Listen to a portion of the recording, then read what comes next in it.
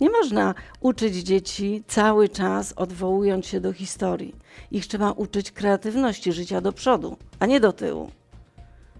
Słyszałam ostatnio takie fajne określenie, że to jest no, zabawa w przeszłość.